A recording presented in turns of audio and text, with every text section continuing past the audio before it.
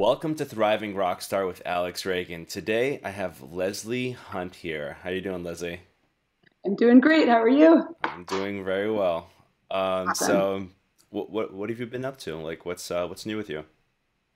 Well, um, District 97, my progressive rock metal band, uh, we are in the final stages of mixing our fourth studio album. Mm-hmm. So that's really exciting. And then we're kind of figuring out how we're going to go about releasing it. So that's exciting. Um, I'm. It's kind of a slow time of year, so I'm really working on new music. I'm shedding my instrument all the time, trying to spend as uh, little amount of money as possible, and just kind of surviving this like very gray like Midwestern world that I live in. And uh, yeah, things yeah. are good though.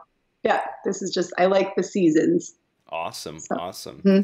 So uh, my whole thing on this show is, you know, providing my listeners with the habits, routines uh, that you, you know, that for sure that that you're up to. Um, you know, as far as like your health and lifestyle, that stuff that's less often discussed, as well yeah. as like social media and things like that, and what you're doing to promote yourself and uh, build mm-hmm. your brand and such. So we'll we'll get into all of that. But let's start with um, let's start with your habits and your your, your health habits. Really, your diet. Okay. Like how do you yeah. how do you eat? Do you have any philosophies around uh, that? I think that probably the, the one most overlooked thing that it is what we eat, and you know if you have any medical issues whatsoever or any just ailments, it's you really should look at what you're eating first yeah. before you look into what sort of little pill you could take to make it all better or mm-hmm. what sort of other sort of like oh i don't want to acknowledge the real issue here. I'm going to you know mask it with something else. So i eat i'm extremely disciplined about food. That's it's almost it's probably i mean so it has like a like when i was a younger I noticed such a big difference on how I felt based on what I was eating, and and also just like um, so I have lupus, mm. and it's an it's an autoimmune disorder and, and an inflammatory disease. So it mm. really attacks my soft tissues, and so that's joints and skin. And luckily, I haven't had any organ involvement. Um, but I but so I have to eat exclusively gluten free, mm-hmm. um, and I quit dairy in July, which mm. was the best thing I've ever done. Um, and I've done that before, but I never did it for this reason. I did it more for like, I'm a vegan, you know, but I never did it because I was like, oh wow, I'm like making myself really hoarse and really phlegmy, you know? Right. Um, and then I also don't really eat nightshade vegetables either. Mm. That's so, um, interesting. Yeah. So, and that's helpful uh, just because I do battle chronic pain. And so I have to keep um, my inflammation pretty low, mm-hmm. especially for what I do for a living. I'm basically a circus clown. So I mean, I'm just like out there, just woo, you know, just totally. It's like this aerobic yes. job that I have. So, um, so You're I have definitely to stay animated on stage. Yeah, I, I can't help it. it's awesome. So if I had to do that and then also feel like my body was holding me back in some way, that would be like a deal breaker. So I have to be careful. Yeah, I think mm-hmm. as a singer, it's most directly reflected on your performance, on your voice, if you don't eat mm-hmm. properly. Oh, yeah. Or even if you don't get enough sleep, or if you're mm-hmm. too chatty the mm-hmm. night before in a loud place, you know, like, so it's like you have to just be such a princess nightmare. like, just like, it's too loud in here. Uh, they don't, you know, right. like, I gotta go to bed, you know? Yeah, exactly. Yeah. Yeah, because so, if you mm-hmm. if, if you try to attack a performance with on, under the weather, you're flat. You're you're doing damage. You're you're ruining your chances of having a good gig tomorrow. You know, I mean, it's like it's mm-hmm. you have to be so careful. You're shortening your career if you think long term. career. Yeah. You truly are. Yeah. You you mentioned uh, you're vegan. No, I was. I was for was. about four years, okay. and then um, and then I stopped being vegan when my daughter was like two, which so seven years ago I started eating meat again, just because that's when I went gluten free. Mm. So. Interesting, yeah, because that could be tough, uh, gluten free and vegan. No, it'd be like, can I have some oxygen in a glass? Um, could you could you blow on it, give it some calories? Yeah. Were you vegan during your pregnancy? Um, I did actually eat eggs okay. during my pregnancy. Really? Mm-hmm. Yeah. Interesting. It's a weird like addition. Yeah. yeah. And then I and then I breastfed and didn't eat any animal products whatsoever when I was just until she was weaned. Mm. And then I don't know why. I just felt um, it was working for me at the time. Mm-hmm. But but what really changed things around is when I got rid of gluten and then I started adding a lot more protein because mm-hmm. that that was when things really started getting better. Right. So with the, with the protein, how has that affected you as far as uh, you know what effect has that had in your diet? Well, I think I, you know it's possible that if I didn't have so many other limitations, mm-hmm. I could get away with not eating meat and not feel sickly or tired or mm-hmm. you know just um but i i don't think there's a, a, a, chance in hell that i would ever feel that feeling of being full mm-hmm. if i didn't eat meat. So i have to i feel like because it's just like i go to a, a, bar or like somewhere and it's like okay i can get wings and i can get like a salad. Right. You know and then it's just like okay please fill me up somehow so i don't get too drunk too fast. Yeah sustenance you know? is definitely yeah you got to soak it up with something. And like now i can't even eat fries so it's like right. at least i had that you know? It's sure. just it's it's bonkers. But sure. it's working. Do you cook? So i do. I cook a lot. Mm-hmm. what do you like i love cook? cooking. Um i like to cook like as much kind of like eastern inspired food. I like to do a lot of asian like indian thai. Oh yeah? Um, just that kind of stuff that's like really flavorful but still like easy to keep in my dietary restrictions because rice is great for me um, and you know the proteins and stuff but like they they they typically aren't a very gluten or dairy like you know involved cuisine. So the chances of finding a, rep, a recipe that fits within my thing is pretty so, so long as i'm not using soy sauce or anything like that. Right i, I love thai food. My yeah, girlfriend's Thai, and Ooh. I go to Thailand like three, four times a year. So, Get out, yeah. dude! wow, does she have any single friends? Men, yeah, there we go. Yeah. so I'm going there in April. Actually, it's going to be oh nice, quite awesome. Yeah, I'll be there for about yeah. a month. That'll be awesome. Yes, indeed. Yes, indeed. So, as far as your diet, on mm-hmm at home you have more control. Right. so how does that work when you're touring? Oh yeah. I, I end up always with like digestion problems on tour because there's no it's really hard to get enough fiber. And so things just kind of stop. Mm. you know around here i'm pretty much like not to be gross but i'm like clockwork because it's like you wake up and you have like granola and blueberries and almond milk and just all this stuff that your body's just like thank you you know and like i'm gonna mm-hmm. let it all out but if you're on the road, it's like I'm eating like Taco Bell with like a oh, hard oh, shell with just lettuce. You know what I mean? And like no tomatoes. Like, you know what I mean? So it's just like, where's the fiber coming from? So I have to like, I got to figure out, I haven't nailed that yet. Cause mm. like, I just end up like towards the end of the tour, I always have like a belly because I'm just like bloated, just like, like cloggage, much gross food. Yeah. yeah. You know, so. uh, just speaking to Neal Morse recently, and he was telling me about um, that he he takes fiber and water in the morning. Oh, that's smart. That yeah. sounds easy. Yeah. Sounds like like an astronaut solution. Just yeah. like yeah.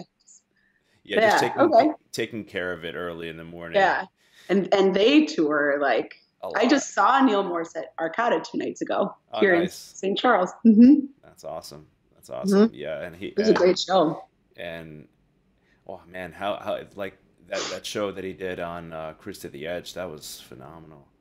The pool stage one. Pool stage, yeah. Yeah, yeah, that was really cool. Yeah, he was telling me he was so emotionally gripped on stage that he was just like it was hard for him to even sing because he was just. Um, wow. You know, yeah, yeah. He was like, "Help me That's, out here." I like yeah. that about you know this like just to to segue to music a little bit. Like mm-hmm. they I, am glad that I've, you know, because like when I first started mm-hmm. in this genre, I was just kind of like looking around, like who in this genre is like really performing and like and and striking an emotional chord mm. and then like they they do you know he does like Definitely. when people people feel i mean it's intensely spiritual obviously mm-hmm. subject matter but also when he's not talking about anything you know religious like it's it's still super emotionally charged it's definitely, cool definitely he gets mm-hmm. into it he gets into it and, and i appreciate that so much because it's like please people perform in a way where we don't we couldn't just be listening to a cd mm. you know what i mean or like watching someone just like watching a youtube you know what i mean like it needs to be like hi we're all here together right. we're looking at each other you know we're sharing a thing yeah mm-hmm. so that's that that's what i got from yeah, you know, a lot of performers in prog are very uh, stand there and play. You know, right? Yeah, I can't even. Yeah. yeah, district actually moves around, so you know. Yeah, yeah. it's one, one of the things that we do. You know. Yeah, that's awesome. Yeah. First time mm-hmm. I got to catch you guys when we played with you guys in uh, Progtoberfest. Oh yeah. Yeah. That was one of my. Fir- that was one of our first shows with the new lineup, I think. Yeah, yeah. Mm-hmm. So, mm-hmm. and I was like freshly, I think I had like a newborn. Yeah. Right? Like a baby. Yeah, I remember. Yeah. I think yeah, we, we picked you guys up. We picked, you picked me up yeah, and drove yeah, yeah, yeah, yeah, yeah. I can't remember what we were listening to on the oh, way. Actually, it was Neal Morse. It was. It was Neal Morse. Yeah. It was Sola Scriptura. You, you, you being like, it was me too who put it on. To this next part. To this next part. I was just like, yeah. I think my band was apologizing for me. it's like he, this guy puts on this just thirty minute song as we're going driving. it was pretty great. That's funny, yeah, because I did. Yeah, that's awesome. Yeah, I, I was like super into it because I just like I, th- I, think it was like just a few months before that that my uh, bass player like turned me on to that album, and I was just like, oh, nice. Yeah. So fresh in yeah, the ears. Yeah, exactly. So I was just like, um, I, I have a funny really story behind that. Comes- just a little side, little side tangent. Um, we, we, I I was I remember I was on a date, um, mm-hmm. and and I for some reason we were talking about music, and I was really into that album. I just started getting into it and I was so excited about it that I wanted to show it to this girl, right? And so I throw on this Neal Morse, you know, this Neal Morse song, just 30 minutes long, and we're sitting there on her couch, right? On a first date, not on, a, on a first date, yeah, not oh. awkward, not awkward at all. I, I put it on. Could she hang, or was she like? she, no, she totally hung. You know, like she was. Oh wow! She expressed interest, and so I I put it on, and mm-hmm. and she was digging it, and it, you know, um, Neal Morse like he goes full Jesus right? And and he does go full Jesus. Yeah, and so um, yeah. And and more power to him. You know, he has a message and everything. Um, and it, and and it's, it's funny thing is his music is so good and the compositions are so great that like my bass player who's like totally atheist like sings along with everything, you know. And because and, it, because yeah. it's not alienating. No. Right. No. Like it's not like a yeah. It's like I I I sometimes you know something that's like really has a strong message or like it's hard to find yourself in it mm-hmm. if you don't like align all the way with like that sentiment but like i find that that's neal keeps it a little more poetic and a little more open to oh, interpretation but which is mm-hmm. crucial it's, anyway. it's, so it's so important reflecting back mm-hmm. on that experience i was just like wow this girl probably thought that i was like trying to convert her it's just like so have you accepted Jesus Christ as right? your Lord and Savior? if not, then this is a deal breaker. Coming from like an atheist Jew, it's just like it's. That's awesome. It, yeah, no, no, that was really funny. So you mentioned um, oh, uh, just just to kind of um, conclude on the food thing. Um, you do you have any particular things like where you don't eat that far, you know, before going on stage or What's your policy on that, if you have one? I I really feel like um, if I go if I if I perform too hungry, mm-hmm. I'm more prone to hoarseness. I like to eat a light, kind of oily salad or something mm-hmm. before, so I've got that like those lipids kind of like mm. lubing things up, and like I get overly like if I'm too hungry, it like feels acidic and like and just hoarse. So wow. if, if I'm too hungry, and I don't like how my mouth feels when I'm hungry. You know what I mm. mean? And like, I, and I, I, feel like I'm lacking saliva. I don't know. So, but if I eat too much, it's a nightmare. So, mm-hmm. definitely. definitely. So yeah, hmm there's like a, you have to strike a balance, but the oils is a good point. That's a good Yeah. point. Uh, how about afterwards?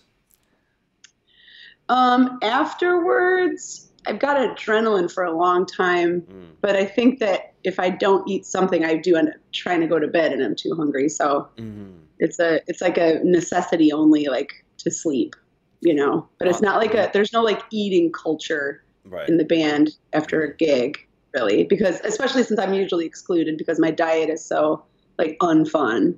uh. you know, but I will participate in Taco Bell. I would say like we should be endorsed by Taco Bell probably as a band.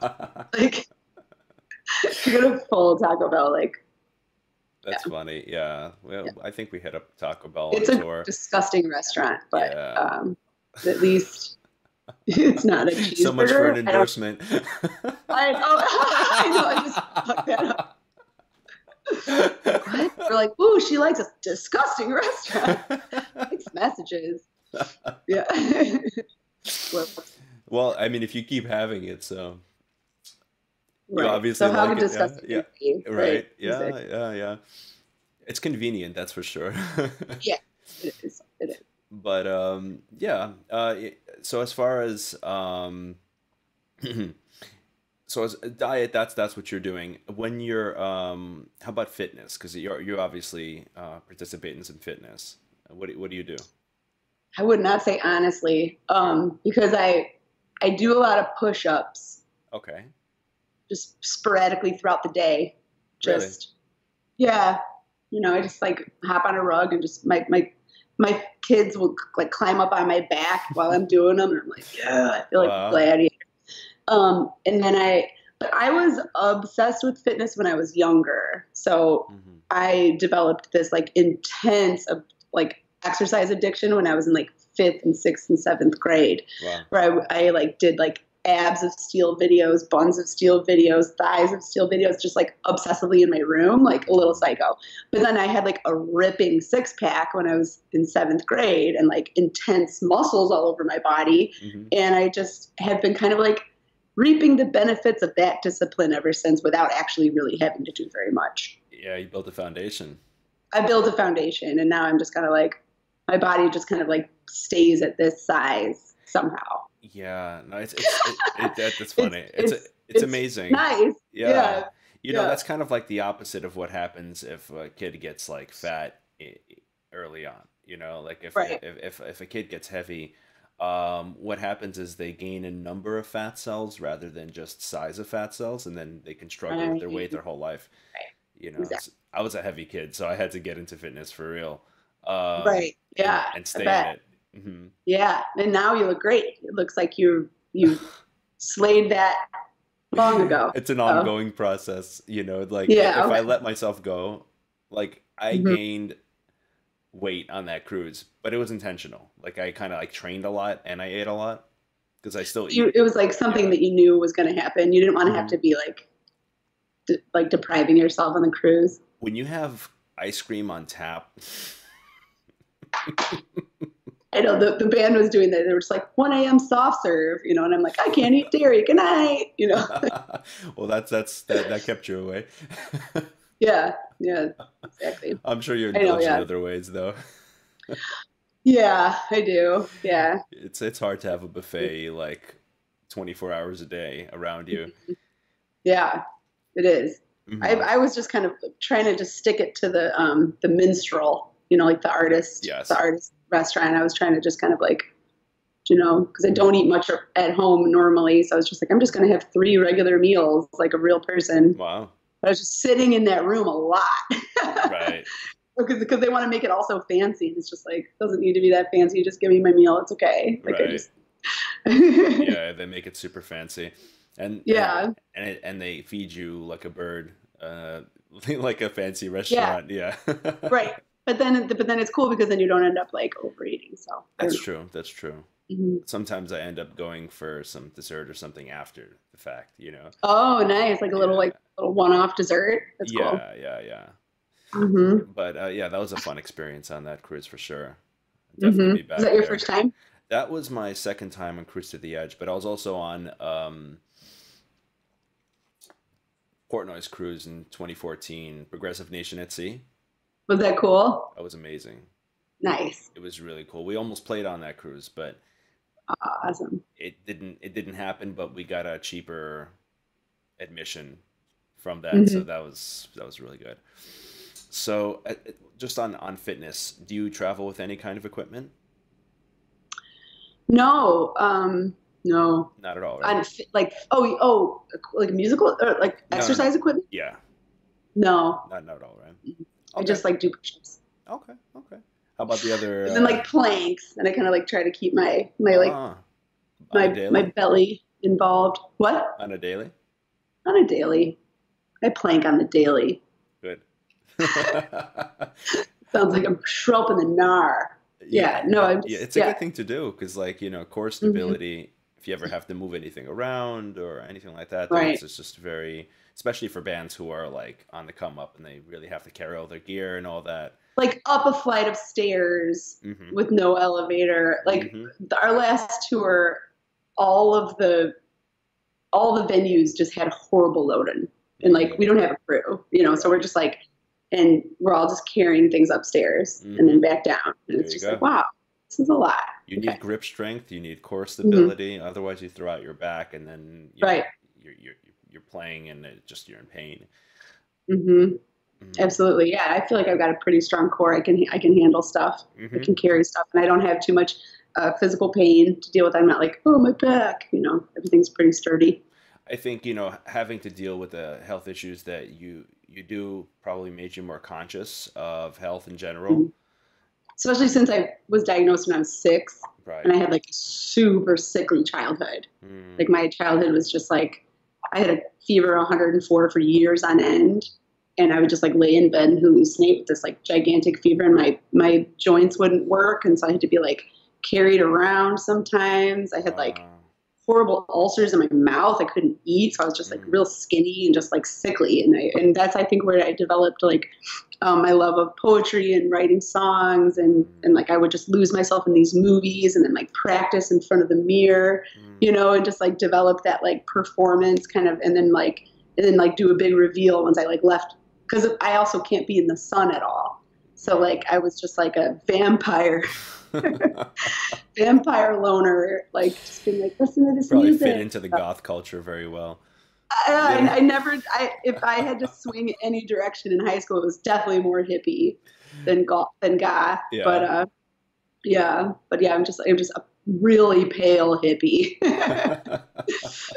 like, yeah. Yeah. So, so, I mean, you've been. So it does make you more conscious you you were, you've been singing and uh, piano right since like four. Mm-hmm. Yep, I've been singing and playing piano since I was four years old, mm-hmm. and like and really um, performing too. Like when I was younger, like my parents were in a band and they would put me in these situations where I would like sing a song, you know, and was really cool. So they're musicians. There's always too. music going on in my house, and yeah, they're both musicians, and they're um, like a PA, a drum set, keyboard, bass, dr- like guitar, everything like set up in the living room at all times, ready to go. That's awesome. Yeah, and, and like a big grand piano, and I especially started to love it when I started writing songs in high school, mm-hmm. and like I joined a band with a bunch of my friends, and then yeah, I know that. So you, you know, on the topic of like, um, on family, like you you you definitely had support uh, from oh, them oh, yeah. in being a musician.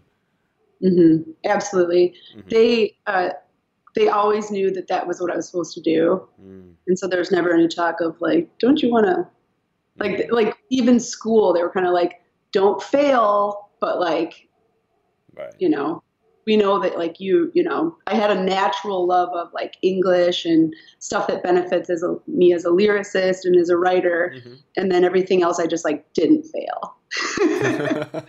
And then i went to music school for college you know so it was sure. just like it was just like i always had a path. And, and, like my parents were like not really too hung up on all the other weird details because they already knew I, I was kind of already like on my way so. Well that's good.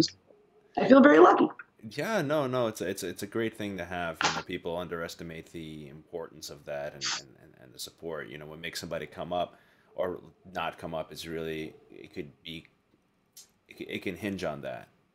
Mm-hmm. absolutely. Because if you feel like you have to just fight your way, um, you know, you don't understand me, Dad.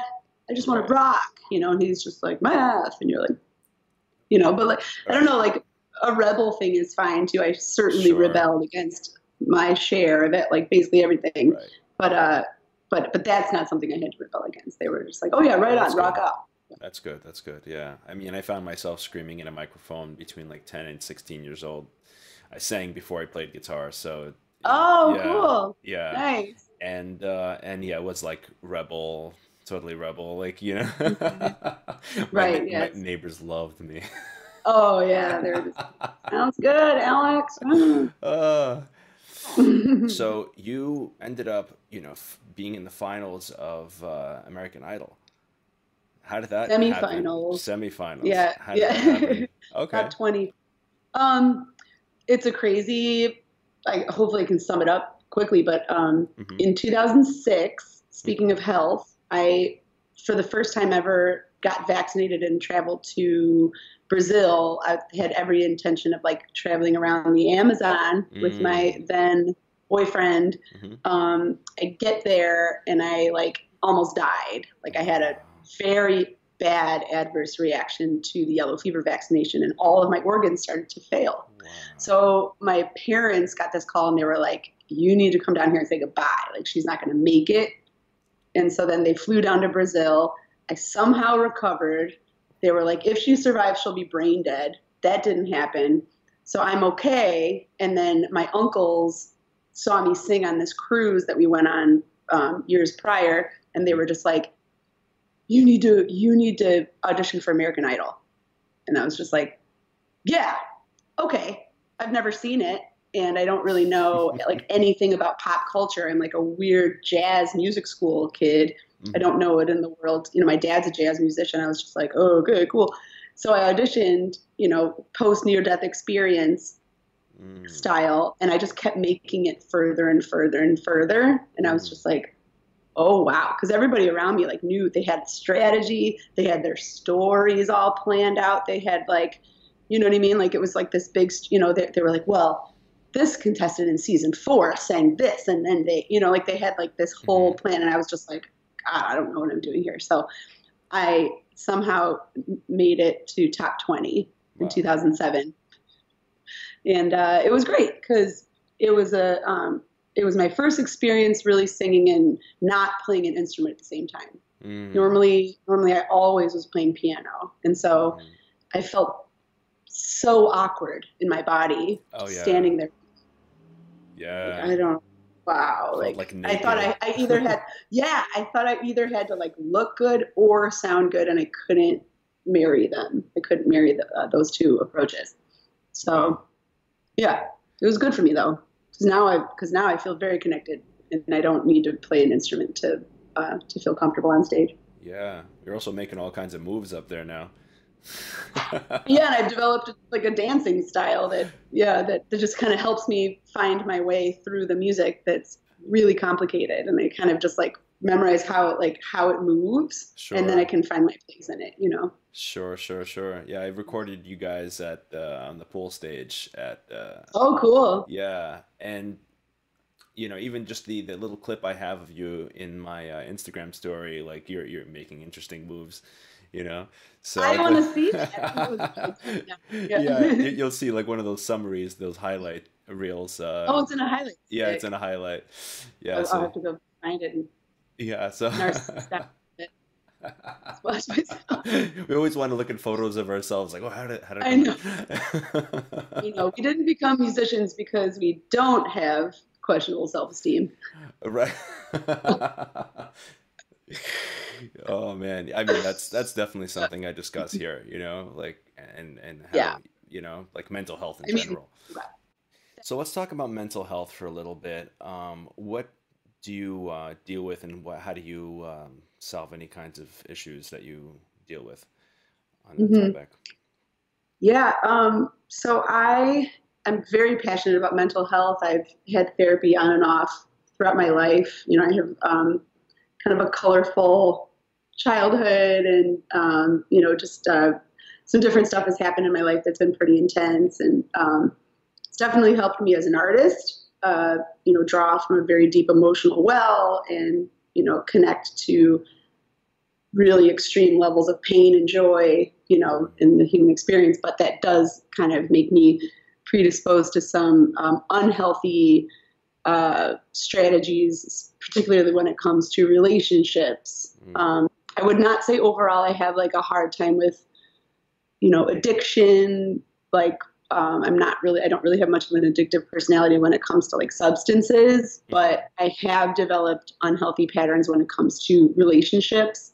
Mm-hmm. Um, I would say overall, I just have a very hard time not being in one. Mm-hmm. And then I just like, I'm a little desperate to be in one. And then I make not the very best choice because it's like, quick, quick, quick, quick. You know, like it's like, mm. that's not, that that's such an important, in, in, a lot of ways, who you are with and who you choose to be your person is more important than like what you do for a living. Right. Because like, I mean, it's just like you, especially if you're living together and you're always together. And I've got two kids, mm. you know, mm. and so I mean, so I am like really freshly broken up right now. Like we're even talking like three days wow. ago.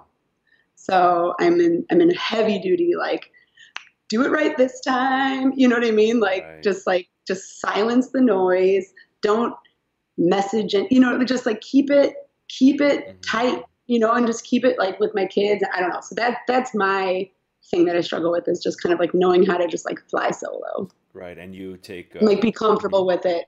You're in therapy and not get in a relationship because I have to. Yeah, I am in therapy. Mm-hmm. Um, it started as like a couples therapy situation and then we started kind of seeing our own and then now i'm like i'm just going to keep it mm-hmm. actually i'm going i'm going there in a couple hours today there so i'll go. have lots to talk about so you go on, on, like a weekly or or what yeah probably like i'm going to probably go down to like every other week just to like check in and just run some things by him you know be like all right so i did this what do you think sure. do you approve you know sure sure yeah. and and uh, and how how has that helped you like since you started that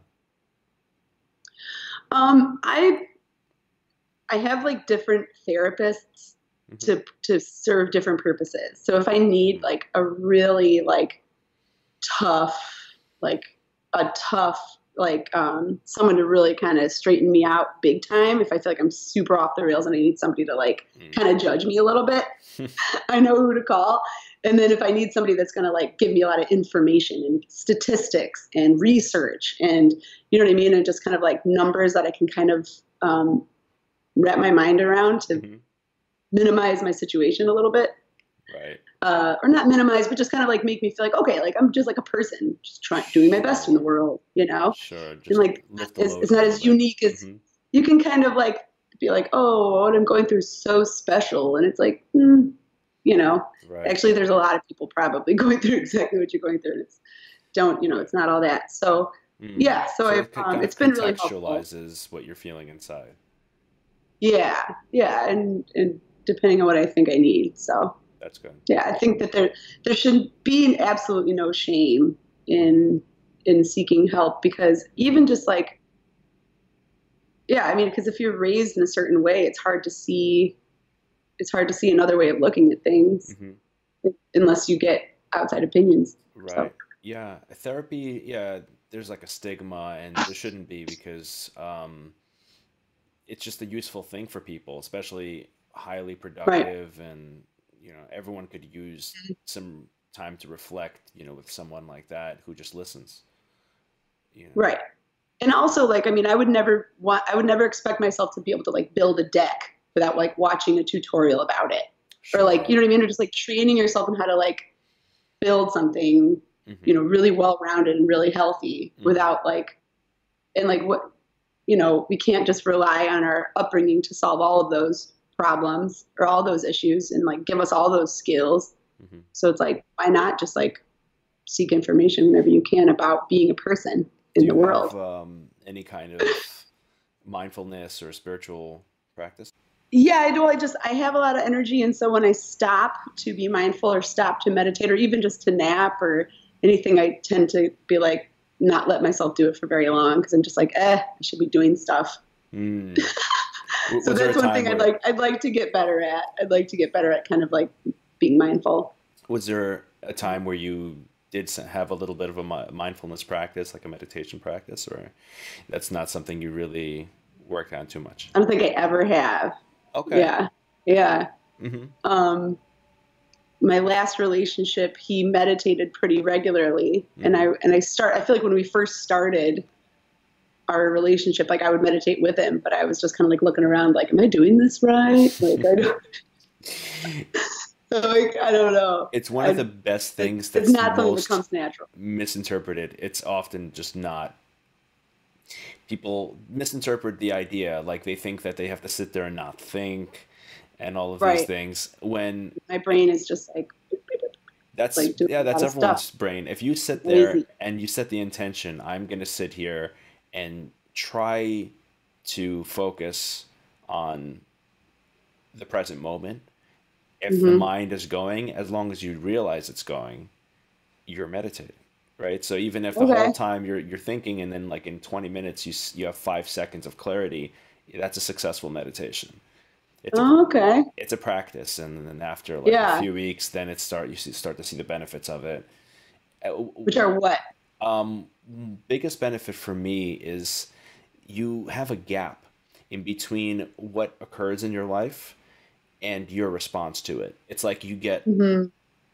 it's like you get the oh. thing and then and then you get to oh. choose your response rather than being oh. reactive.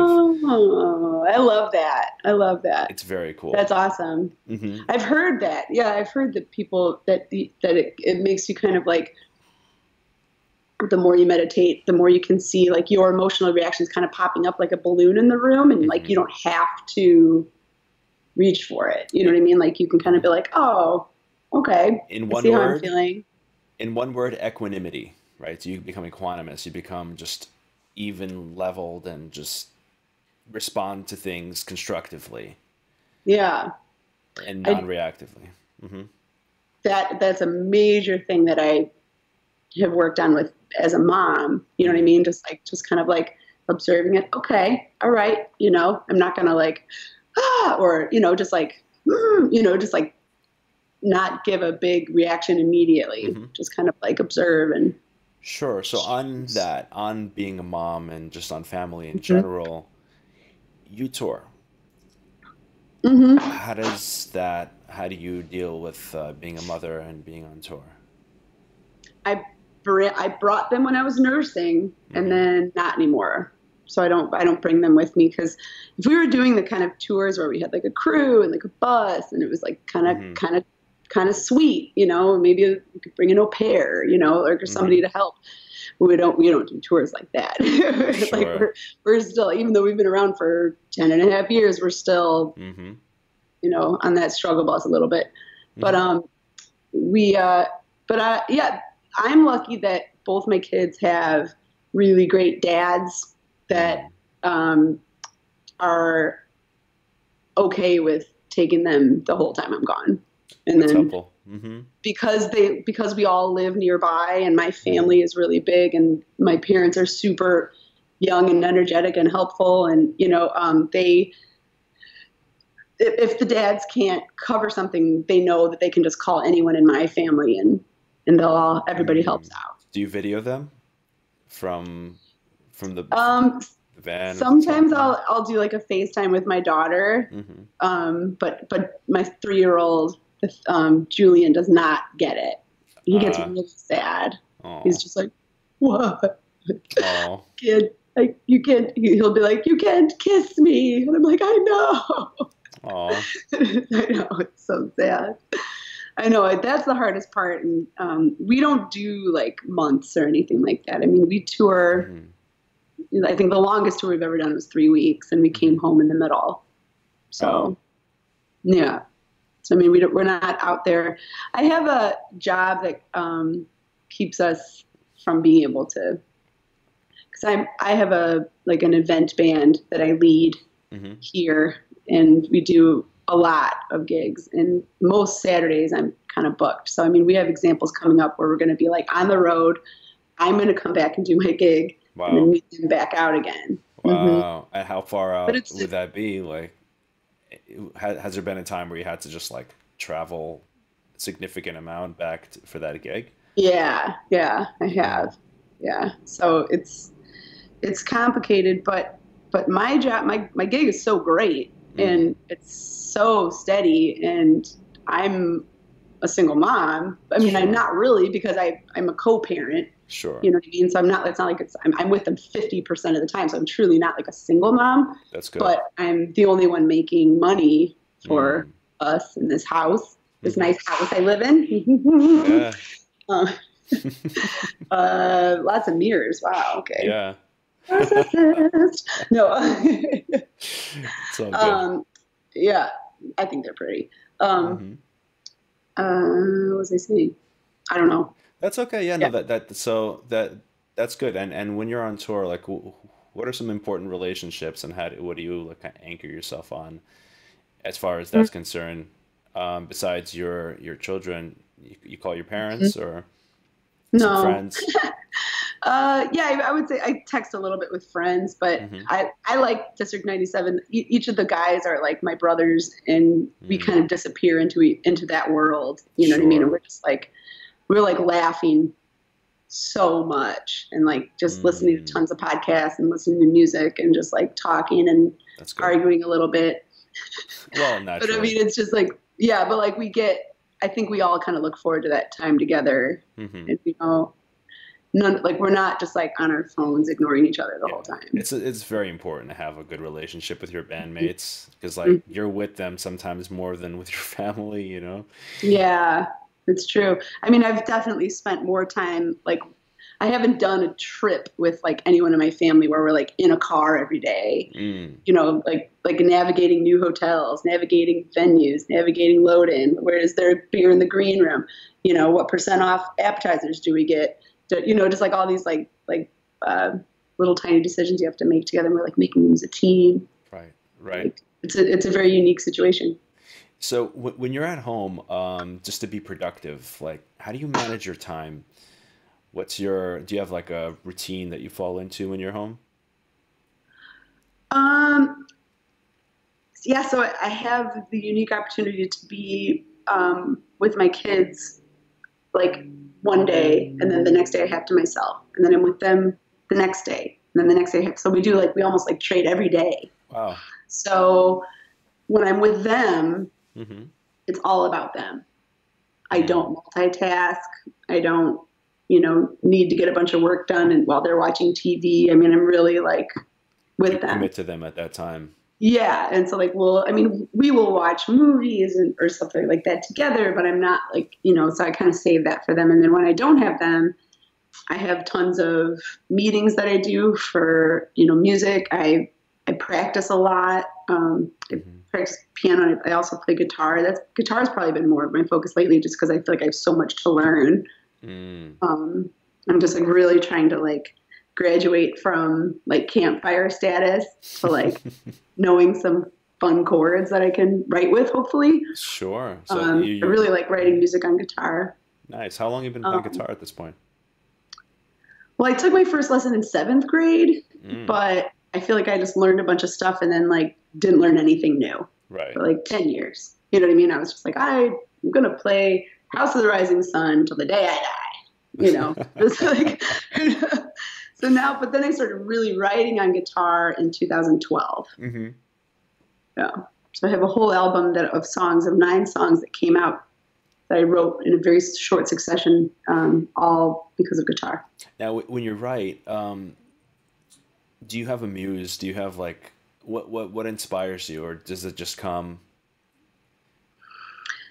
so, so it's kind of two different things. Mm-hmm. Sometimes it'll happen out of nowhere, and I'll ha- I'll get a song in my head, and like I've never heard that before. Mm. That must be mine. That mm. must be a new thing. And then I'll try to grab my phone or grab something, or you know, uh, do a voice memo of it before it goes away. Sure. Sometimes, and I don't know why this is the case, but those things happen mostly when I'm in a bathroom with the fan on not not necessarily like taking a dump, but like you know, just like like just like clearing the steam, or like I'm drying my hair and the fans on, and just like all this like ambient kind of like sure. white noise, and then I feel like my brain can kind of like fill in, or like I'm I'm finding tones in there somewhere, interesting, and like yeah, like I don't know, like or um, I have a lot of no, like sound machines in my house, like Really? so, so so the kids can sleep and I can like be loud and they don't wake up. Oh, that's interesting. Um,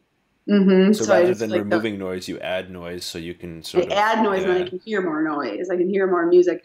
And then another time I'll just Mhm. sit down and start improvising. Um, and and that's when a lot of songs are written too. That's cool. So sometimes a song is written just in the amount of time that it takes to play the song. Right. You mean? And I'm just like, and I'll have to go in and like make the lyrics better. Sure. You know, but the, but the melody and the form and the the chords and stuff are usually and they come in different orders. Sometimes like uh, melody comes first, sometimes lyrics come first. Or how, how does it work? Lyrics rarely come first. It's usually melody. Yeah, yeah. Lyrics are Mhm. that's a different thing I'm doing. Sure. You know what I mean? Like, that's more thoughtful. That takes a little more time to really kind of come up with the, you know, I feel like I'm like looking up thinking about lyrics, Sure. and then but then like in the music is just kind of like I'm, and I'll just be like, okay, come to me. I know you're here. I know you're here. Just come to me. Whatever you got. Whatever you got. I'm, if if it's if, maybe it's gonna be stupid. You know what I mean? Like who Mhm. knows? But I but I but I'll I'll figure that out later. You know. hmm What do you tend to write about topically? Um, all kinds of shit. Like like the human experience is so ex- so interesting to me. hmm Um, I love to use um, really elaborate metaphors um, for like an, or analogies or just things to kind of veil what I'm saying. It's like one of my favorite tools. So, and I love it when people have. I love hearing a variety of. Like if I show someone a song and then they all give me what they think it's about and it's all different, hmm that's like for some reason that gives me the best pleasure because then it's like it's not like it's not like reading someone my journal. Sure. you know what i mean? It's like it's like okay this is my experience. I'm gonna like frame it in this way. Hmm what do you think this is? I know? think it's beautiful, and you know, we get what we need to get out of a song, and if you Yep. Word it in such an ambiguous way, then it's interpretable and so more people can connect Yeah, more people Mhm. can connect and find their own Mhm. meaning in it, and connect Right. to it in a unique way. So I think that's that's a Right. beautiful thing. hmm and i'm not just writing songs for myself you know what i mean i'm writing i'm writing songs to hopefully have a shared experience with hmm other people. And I think that my when I was younger, I I, I, just, I really had a feeling I would get into some sort of psychology Mm. profession. Like if you know if, but then I, but then I started writing songs and I found that I was really affecting people emotionally more effectively. like Right. write a song, share it with 20 people instead of having 20 therapy sessions. You know, I can just like write it and then like keep writing the next one. You know. Yeah. So. That's a it's a good way to deal with things, huh? hmm yeah i always felt like a like a like a helper like a um my parents used to kind of like come to me for advice Do you ever find uh, trouble like when you want to sit down and write and nothing's coming, like kind of a block thing, or no? yeah, Yeah. absolutely yeah yeah sometimes i'm just like i feel like if i ever struggle with writer's block it's just fear of things being horrible you know or you're just Mm. like oh like um it's it's a vicious cycle because the longer that it's been the worse you are at it. Hmm and then and then you go to start and you're like see i don't have this gift anymore. I'm gonna go wash the wash the kitchen floor you you know? think like that- but then the more you do it the more naturally and the, the less of a big deal it is. Right? if you just do it all the time. I'm sorry you were going to say something. Yeah, I was gonna say. I mean, on, on that, do you feel like it's a self judgment thing that when you just don't allow it and you kind of cut that short, that you start judging Mm. everything that that comes out, and that becomes like a perpetual issue. yeah absolutely it's like it's like um judging a fetus before it's born it's just like yeah you can't do anything like you can't even like Mm, you know like you, Right. can, you can't even swallow yet right. you know like it's like no because it's like it's a it's a thing it's a tiny thing you got to let it come out you got to let it grow got to feed it got to like That's right. let it be itself for a little bit because it probably is, has something to say but just don't don't get rid of it yet hmm i'm not i'm not talking Let's talk about abortion. No, oh my gosh, it's just like you know, uh, yeah, yeah. Let's let's let go there. Bring this to because that can get quickly political. And I don't. You know, we don't need to. We don't need to post, ever get political. Post birth okay. abortion and things like that. Oh yeah, Oh, that's just like yeah. Watch your analogies. Your analogies can get get you right into some sketchy territory. yeah, yeah, yeah. Um, all right. So when when it comes to the business end of things, right, and how you, you know you have this band that is- is a regular thing, and that's been a regular gig for you for how long? Ten and a half years. Yeah. So besides District, you have that Saturday thing that the Oh, band right. that you're leading. Yeah, Yeah. the Mhm. same. They both happened at the same time. Oh, really? So Mm, yeah, it's crazy. So can I tell you about the craziest summer of my life? go for it. Um, it was in 2008. hmm Um, I was engaged to be married, um, and uh, and then my sister died day before I was supposed to get married. Oh, she died, she, like my only sibling, my younger sister. She was 22. She died of a drug overdose Oh. the day before I was supposed to get married. So the wedding was canceled. hmm Um, everybody was already in town, so we just had a funeral instead. The um, and then the person that I was supposed to marry, I quickly realized I was marrying him to set a good example for my sister of how to stick with things. Oh my God. And so then when she died, you know, I don't. Um, I like this about. I've, isn't like the belief in Judaism a little bit like when people die, part of them become get, goes into you. hmm Do you do you identify with that at all? Um, I I'm not familiar with that sentiment, but that's that's interesting. Okay. Yeah. So like that's how I felt. I felt like she died, and then she a part of her went into me, and it was just like, do what you want. Why are you doing this? Wow. This isn't what you want. You were just doing this to try to set a good example from Mhm. for my crazy ass. You know what I mean? And so it's like, okay, Lauren, you're right. I'm not going to do it. So we canceled it, and then I moved out, and um, I bought and I signed a, a lease for an apartment with no income. Uh, and then that day, I got a call from my from the company that I've been working for. You know, like the, the corporate thing. Hmm and he offered me a full-time position as a singer. Wow. and bam i had 55 gigs in my calendar you know? Wow. uh, 400 bucks a pop. I mean it was just like wow okay awesome. And then at that same time um, district 97 I, I opened for them hmm as a solo act. And i saw them performing as an instrumental band. And i was just like and my sister was gone and, she, and it was so and she was so into metal and so into just like Mm. just like that raw aspect of, of Mhm. people and i was a little more like folky singer songwritery kind of Mhm. um, and i saw them perform and i was just like if lauren was still alive she would be the lead singer of this band wow. and i was just like i need to do this and so i did it and i was just like jonathan i want to be the singer in your band and he was like okay so he started writing songs for me. And i just kind of like have been you know channeling my my rock star sister ever since. But now it's become who i am you know Mm. but but it all started because i was just like i need an outlet for the energy that i know she still has because i still felt her everywhere. And i was just like she needs an outlet. I'm this now. I'm different now. You know i don't have to set a good example for anyone anymore Mhm. you know oh and then i like immediately also got pregnant after that too Wow. That's a lot. I know, and so I just feel like my my my daughter. I accidentally call her Lauren a lot. Wow. this was my sister's name. I know. So I just feel like there's like there's a lot of my sister's soul in my daughter too. And there's weird similarities. They have the same big toe, and Hmm. they both get like little sweat beads on their nose when they're hot. I've never Yeah. seen that before. Like little beads of sweat, Oh wow. and then they have the same eyebrows. Wow. it's pretty- I'm That's very lucky that yeah, yeah. that I was able to kind of like Mhm. replace that loss with like such a cool, awesome kid named Yeah. Eliza.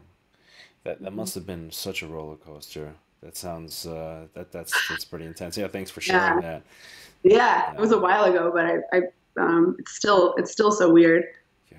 you know but uh but it's I, I, I, time is amazing you know Yeah, it's unfortunate, you know, people we lose loved ones who lose over drugs and things like that. yeah You know. Yeah.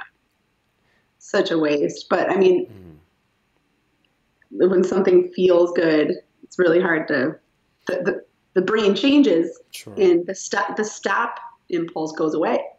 Right. The executive right. functioning is a no longer a thing. So you're just like, okay, I know I'm about to like I know that if I do this, I could potentially go to jail. I could right. lose all my friends and family. I could potentially die. But like that part of the brain is just like, you never know. Right, right. Yeah, my brother you know, struggled anyway. with that for a long time. So your brother? Yeah. So I, oh, I, wow. it's totally it's it, it, it, hits home for me for sure. And mm-hmm. uh, you know, it's uh, you know, fortunately we didn't lose him, but you know, it's it was it came close uh, lots of mm-hmm. times. Mm-hmm. You know, now he's in a better yeah. place. Oh, good. Yeah. That's huge. Yeah, that's yeah. really good. So awesome. I love to hear that. Yeah. Like yeah, so come out the other side. Light at the end of the tunnel. Yeah, definitely, mm-hmm. definitely good. You know, but of course, brought a lot of grief over time. Um, yeah. Did you find that your family got sick? Like all your relationships in your family, like around that. Oh yeah. Oh yeah. Yeah, it's it like destroys everybody. Families. Yeah. Yeah. Well, everybody just loses their perspective of what they're capable of changing and what they're not and what enabling is and what you know like what's making it worse what's yeah, you know? really hard on my mother. Yeah so yeah. Mm-hmm. my parents are will never be the same. Right. Oh, yeah. no. They're, no. Yeah but they're but they work on it. I would say considering they're both doing really well but they're mm-hmm. you know they both still feel like they could have done something. Yeah. You know it's just like you don't know about that she was hell bent. she was completely hell bent. Yeah, you know, so young too. She was, mm-hmm. Yeah, yeah.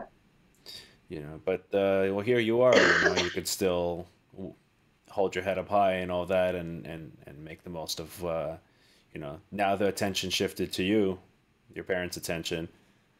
Which I didn't really have before, you know. I mean, because it's like when when there's a there's a um, well, I did when I was sick, you know, like when I was like a, a sick kid. But then like my, my sister started getting really sick, you know, with her addictions and her mental health um, in when she was in junior high. Wow. And then um, and then all we would ever talk about was her. Mm. You know what I hmm. mean? Because it's just like you're not going to talk about the weather when the when there's like a piece of furniture on fire in the living room. Right. You know what I mean? You're not going to be like, oh, so how was your day? Right. You know. Right. Um, yeah, just consumed so yeah. family life completely, right? Completely. Yeah. yeah. So now, so now both my parents are very focused on me. They're very focused on my kids. I'm not saying. I mean, I would give anything to have her still here, mm. even if it meant that nobody focused on me, because that's not what it's about. But you know, there's like a. We all have a chance to kind of like get our get our health together mm-hmm. and be healthy people and not be so like codependent. You right. know, as uh, which is, is something that happens to families of people in addiction. Right. Yeah, I think we all were anyway before she even was. Sure. Mm-hmm. So when you when you uh, so you you you started those two bands, those two projects at the same time, and and mm-hmm. since then have you taken on anything else, or maybe started any kind of other projects, any passive income from anything? Oh yeah. Um, so I do have three solo albums out. Mm. Um, and they generate a nice little income because I still get quarterly like publishing mm-hmm. checks, um, which is awesome. Sorry, um, mm-hmm.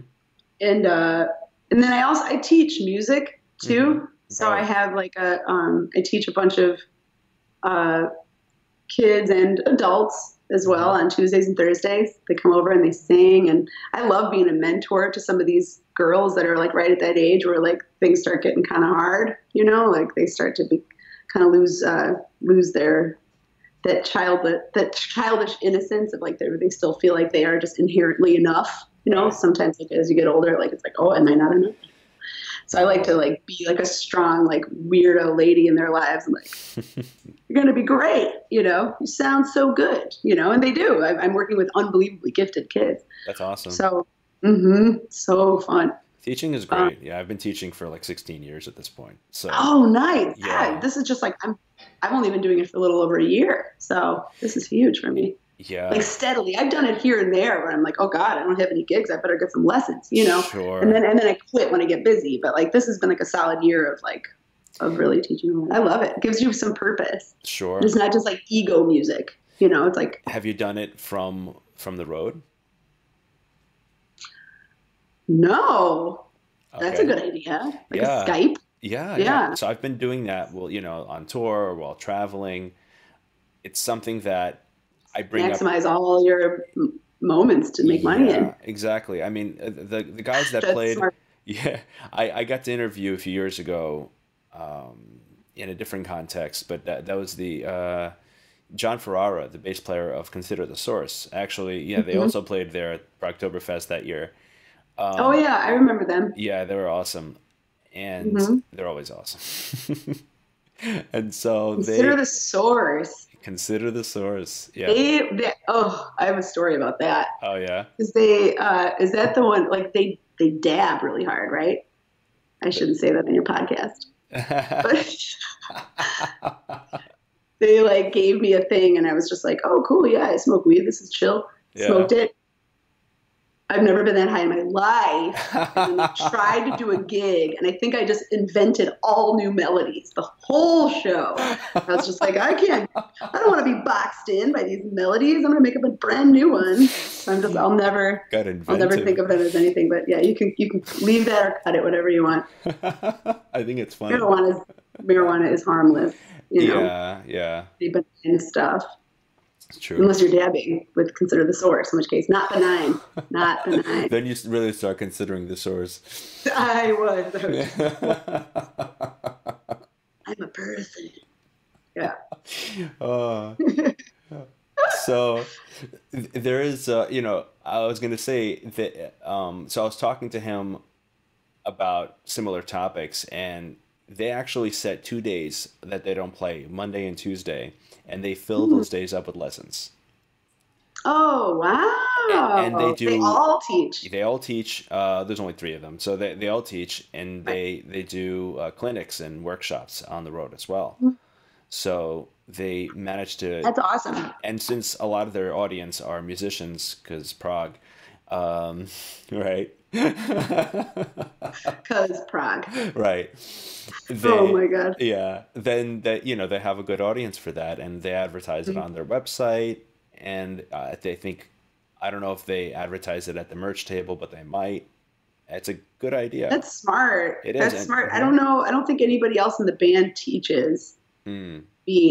But how do you deal with that that like delay? Because you can't warm up together. You can't sing together. Right. Well, it's like mm-hmm. I could see teaching for a long time uh, when it comes to guitar. Right. I I can, okay. I can I can explain to people things uh, as far as how to move their hands. Complete beginners a little tough. Um, right, because it's a lot about showing. Right, I might have to physically move their fingers. I'm physically moving fingers a lot. Yeah. Okay. Right. So, mm-hmm. but I, I've figured out ways of articulating certain ideas in so many different, you know, wordings that that I can tell somebody in a very specific way on how to move their hand, C shape, oh, and cool. all that. You know, and and it's it's worked out pretty well. And especially mm-hmm. anyone who's been playing for a few weeks, totally fine. The only thing is I can't play exactly at the same time with them but that's just a right. limitation right now. And when we get into 5G, I don't think that'll be a problem. I think we're actually going to get to a point, and this is this is an interesting technology coming, because we're, we're getting to a point where we're going to have almost zero latency internet connections, and we're going to be able to video with people almost live.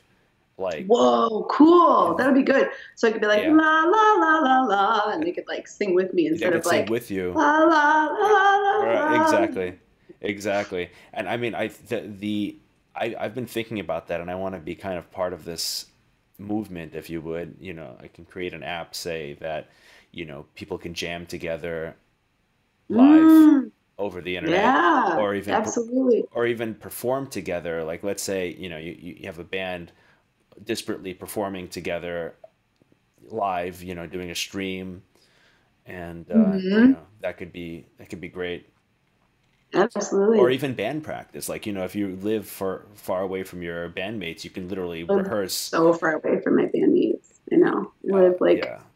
you know. Yeah. I live out in the boonies. Sure. Yeah. Sure. And, That'd be cool. Mm-hmm. I like that. I think it'll allow a lot of uh, interesting collaborations to take place. And so it's, we, we, yeah, with interesting technology to come. Um, it's an cool. exciting time to be alive. Nice. I'll have to make sure to not cancel my lessons when I'm on tour. Yeah, I, I, you know what it is. I have a conversation early in the process where I tell them, "Hey, sometimes I travel, but I have, you know, I teach online, and mm-hmm. You don't lose any value." I, I, I, frame it in a good way. You, you get it from the convenience of your own home. Right.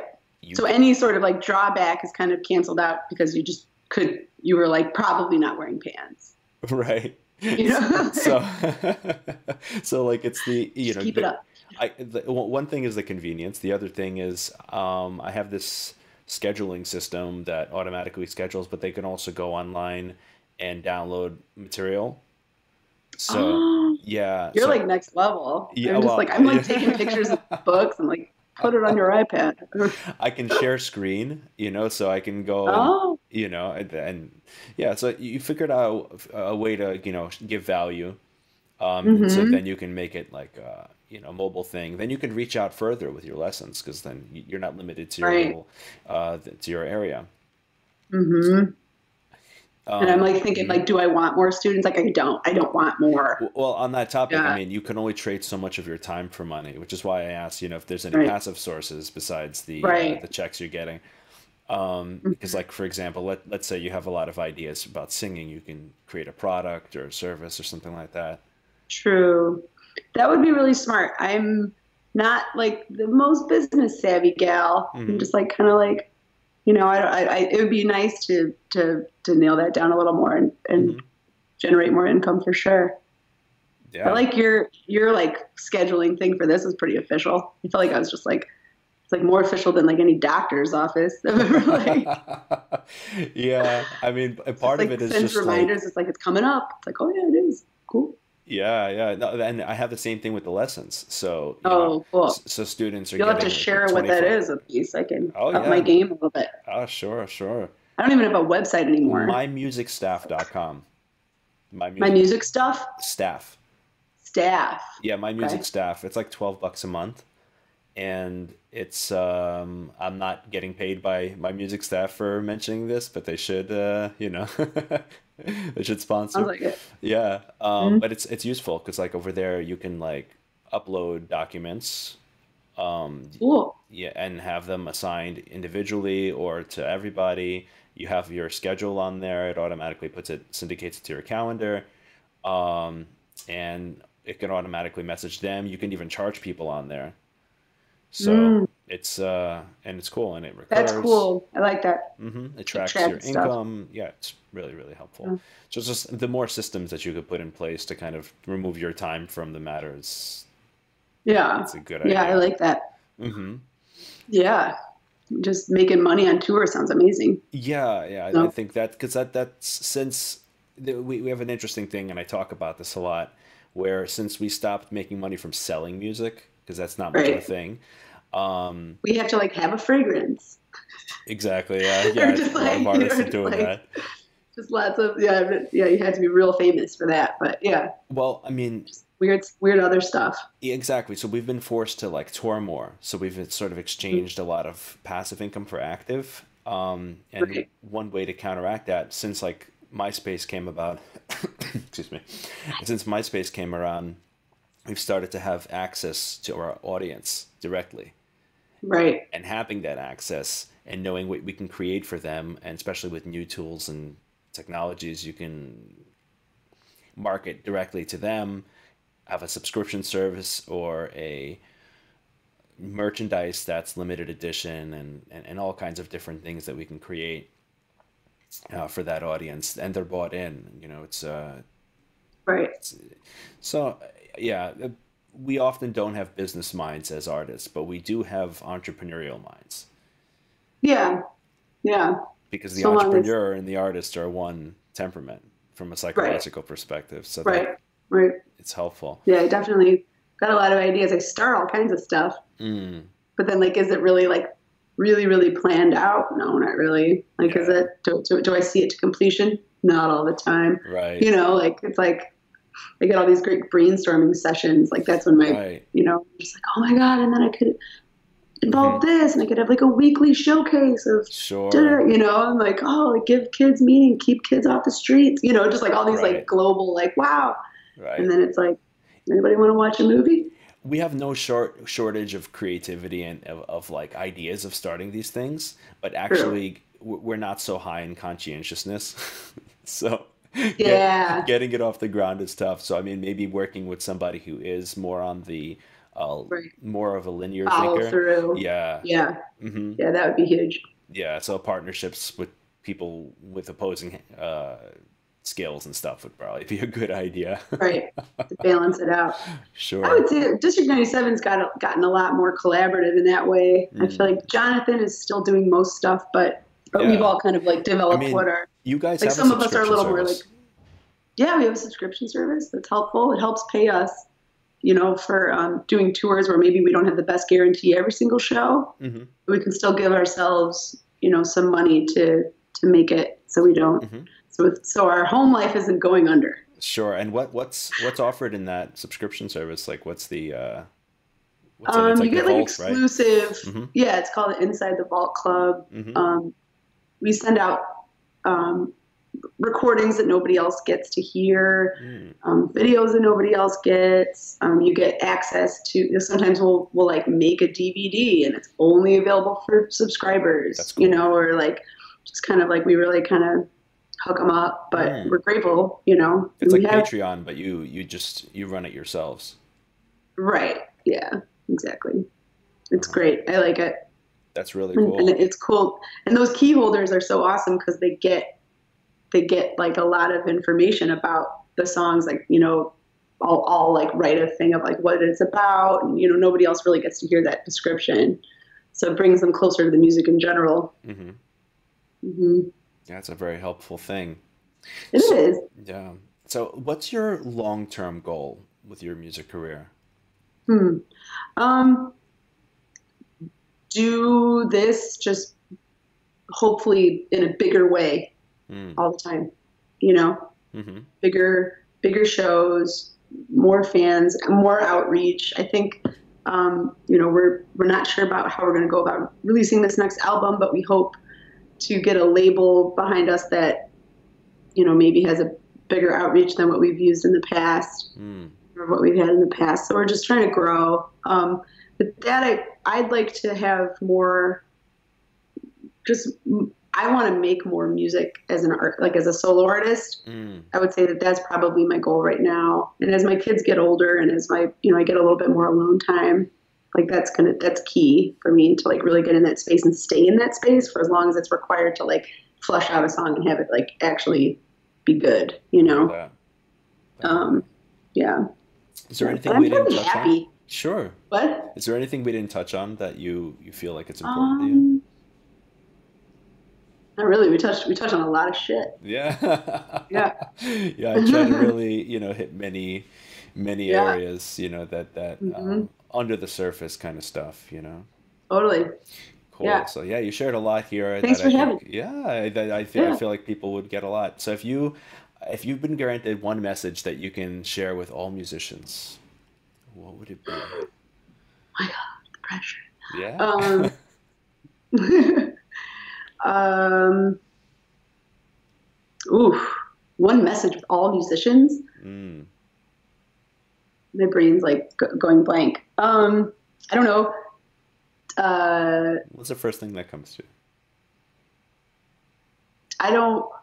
It's so easy to get discouraged, mm. and it's so easy to um, develop an ego that is doing far more harm than good. Mm. So keep the ego. The, the ego is the cancer of the art. It's the cancer of the connection, and it's like the cancer of all your relationships, including like every little moment with a fan. So mm. the ego needs to. You're a vessel. Be grateful for that. Um, and don't let your ego either like stop you when things aren't going the way that you feel like you deserve or um, yeah and, and, don't let the ego like stop you before you've had a chance to create something awesome. That's awesome. Very good okay. very good. Glad i came up with that. Yeah like, yeah. like, am i gonna be like oh wait i'm gonna go bye. Yeah. I have no answer. Yeah. All right everybody this is uh, Leslie Hunt, and it's been awesome. Check out her band, District 97. And uh, I'll put a lot of notes from this interview in the notes to the interview. Great. Thank right. you so much, Alex. Nice speaking Good to you, luck Leslie. with the podcast. Look Thank you so listening. much. Cheers. Watching. All right. I'll see you Cheers. soon. Bye bye.